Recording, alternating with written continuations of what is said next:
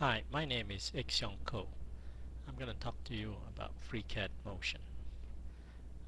You can find it by just googling FreeCAD Motion.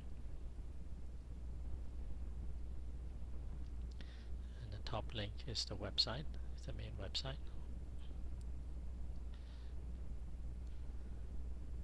And this is FreeCAD here. This is uh, basic 3D CAD software with uh, advanced motion simulation capabilities. As you can see uh, here it's simulating a robot which is made up of parts which are simple shapes.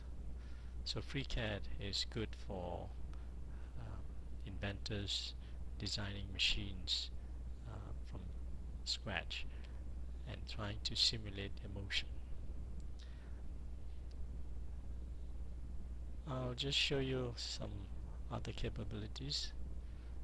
So you can see simple examples like the projectile problem okay?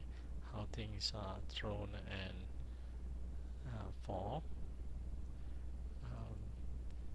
Um, another basic example on how rotation takes place in three dimension more rotation examples. Pendulum examples. So these are dynamics problem. That means that FreeCAD has to solve uh, Newton's laws of equations to compute this kind of motion.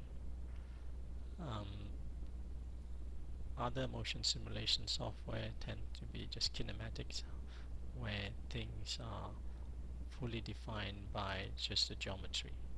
And Newton's laws are not applied. So this is a spring mass system and so on. To give you more examples you can look at the more advanced examples.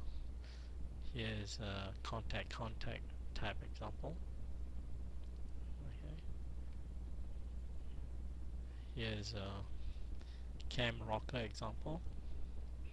And you can change the shape of this uh, cam and the follower ride on it. And then you can have more sophisticated examples like this. And robotic example